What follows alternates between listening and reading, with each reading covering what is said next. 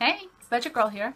So many of you have noticed and many of you have commented asking, where have my monthly debt report videos gone? Uh, I posted them every month for a year and a half and suddenly they aren't there anymore. Have I stopped budgeting? Have I stopped debt repayment? Am I just bullshitting you with the four videos a week I am posting? Where are they? I'm about to tell you. There is a reason. In August, I decided after a lot of thought that I needed to save $2,000. I chose to pause my report videos because I didn't want to tell you why I wanted to save $2,000. And I'm still not going to tell you why I saved $2,000, though I am going to tell you why I'm not telling you, if you followed that. There are a handful of completely legitimate reasons to pause your debt snowball. I did an entire video on them, which I will link below, but the main thing is, is that if something, if you see something coming on the horizon that's going to cost you a lot of money, you have two choices. One, you can continue your plan like you don't see it coming, or two, you can pause your snowball temporarily, choosing to stand in place instead of moving forward in the hopes that when it hits, you won't move back. For the sake of this conversation, let's call the oncoming thing a storm. Sometimes the storm can be a good thing, like a new baby, or a bad thing, like an illness or a death. Um, I'm not pregnant and nobody died, but either way, a storm was seen coming on my horizon.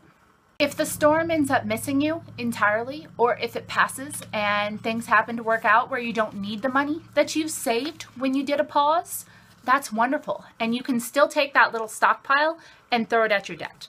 But if you choose to do it the other way, where you ignore the oncoming storm and you keep plugging away at the baby steps, then some things are going to happen.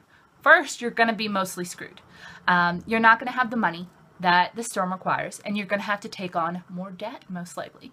And that is not a pause anymore. That is moving backwards. You're getting further into debt. And that debt is going to have interest. So instead of standing in place for a minute to prepare for the oncoming storm, you're actually moving yourself backward by staying on your track. A lot of debt repayment and about money management is about preparing for what's going to happen to you. Okay, so here is why. I'm not going to tell you right now why I chose to save $2,000. One, because it's personal. And while I'm extremely open about my money decisions and my life on this channel, even though I choose to put myself out there, I reserve the right to keep things to myself. Second to that, though not second overall, I don't feel like I owe anyone an explanation of my choices. Some people think that I do because I put myself on the internet. I've even had people demand that I take my channel down because I'm no longer doing my debt reports and I'm obviously not doing anything budgeting. I don't feel like I owe anyone a justification of every single one of my actions or any of my actions really. I choose to put what I choose to put out there, but I reserve the right to maintain, keep things personal. Some people have taken an unearned ownership of my life and my choices, and unfortunately for them, that's just not how this works. Number two, the main reason is it's not appropriate. I, it's not always appropriate to put your plans on the internet before you tell the people that it directly affects. And I'm certainly not going to do that. In fact, it's wrong. I honestly think it's wrong to do that. I don't think it's ethical to be broadcasting things that will affect people before telling them about it. And this storm affects people in my life. The good news is I have three pieces of good news for you. One is I plan to tell you why I saved the money when the time is right, but not before. Good news piece number two, I did save the $2,000.